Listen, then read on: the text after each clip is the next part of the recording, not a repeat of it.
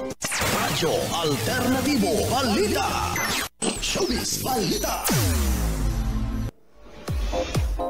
Sa balitang showbiz, si AJ, hindi AJ Rabala, AJ Lore, ay pabirong kinumpronta si Bugoy Carino sa trending photo nito na nakatingin sa ibang babae. Aba, alamin natin ang showbiz balita natin ni Ate Len.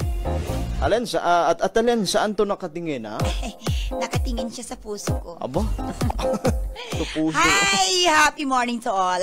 Naaliw ang mga netizens sa JR sa pabirong ah, komprontasyon ng ah, volleyball player na si EJ Lore sa kanyang partner na si Bugoy Carino matapos mag-viral ang litrato nito sa isang Facebook page. Ah. Mm-mm. Ibinahagi kasi sa Facebook page na ace.em M photography ah, ang ah, mga litrato niya na tila nakatingin daw. Hala, sa Ah. isang babaeng nakaupo at ah, gumagamit ng cellphone. Yun, Uy, ah. mukhang nasa basketball court naman si Bugoy. Mm-hmm. Mhm. Sa Facebook Live ah, na isinagawa ni Bugoy, magkikitang pabiro siyang inurot-urot, uy, ng partner kung sino ang babaeng tinitingnan niya sa litrato. Ah. Ah, nagtungo pala si Bugoy sa Pututan Iloilo noong nakaraang ilo, ah, linggo para sa isang liga ng basketball.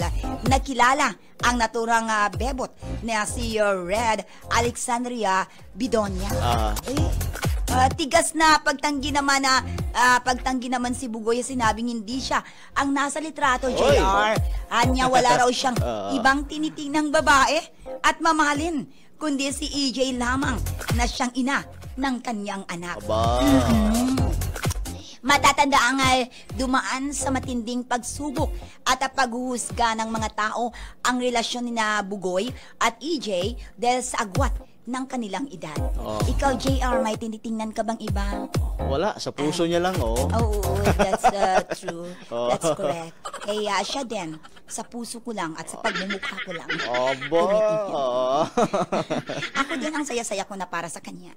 Kaya yan ang ating showbiz balita this morning. And the Atilen, ti amo, I love you. Thank you, Ate Len.